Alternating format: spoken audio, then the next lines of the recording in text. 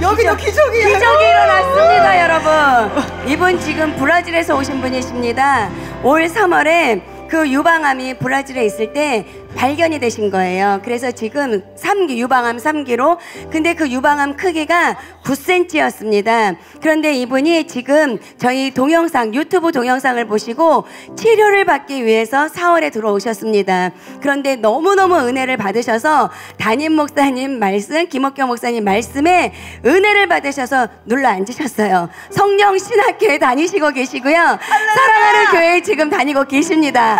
그런데 오늘 병원에 이제 다녀오 셨는데요. 아산병원에 다녀왔는데 9cm의 그 암 크기가 1.5cm로 확실하게 줄어 들었습니다.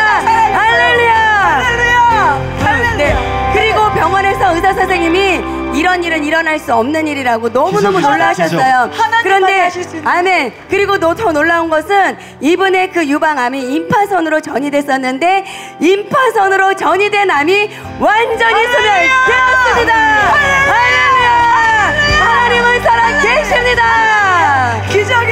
하나님 기적의 하나님 아멘. 놀라우신 하나님